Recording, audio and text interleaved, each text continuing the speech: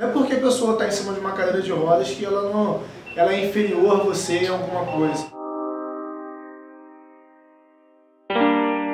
Eu acho que as pessoas têm pouca informação de como é um cadeirante sim no seu dia a dia.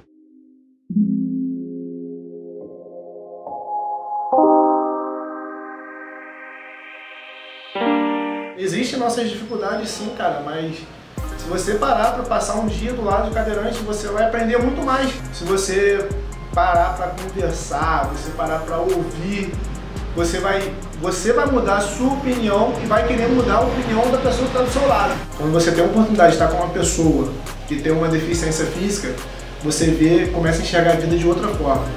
Aí esse, esse, esse preconceito, uhum. esse, esse achar, o achar coitadinho vem por terra e acaba. As pessoas olham, olham pra gente como pessoas frágeis.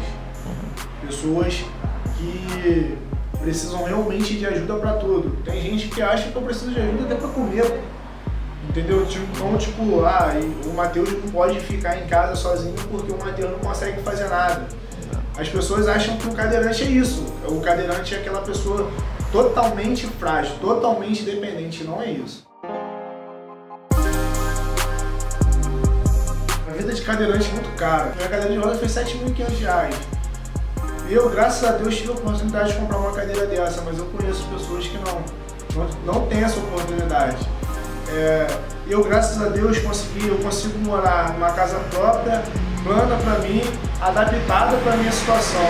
Nós conseguimos adaptar um banheiro dentro do meu quarto, fazer uma suíte, um banheiro totalmente acessível, bem amplo, é, com barras, tudo, tudo adaptadinho o quintal em si, ele é, ele é plano, ele é tudo cimentado, nas minhas portas da entrada da, da sala, tanto da cozinha quanto da sala tem rampa.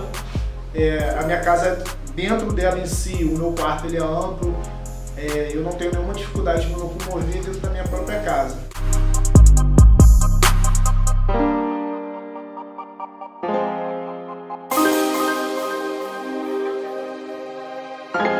Eu fui um cara que tive 1% de chance de sobreviver no acidente, né, cara?